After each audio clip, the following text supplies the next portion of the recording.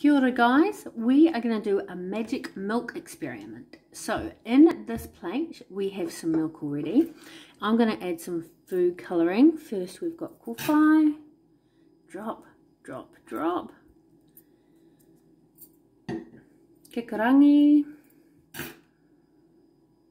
make that in there. Kakariki, make that in there. Now check this out.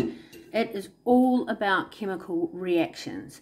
And the soap from this detergent is working really hard to meet the fat in the milk. And the colour lets us see them trying to join together. So check this right out. Cool, eh?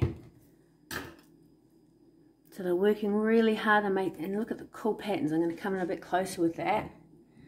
You can get in there, swirl her up.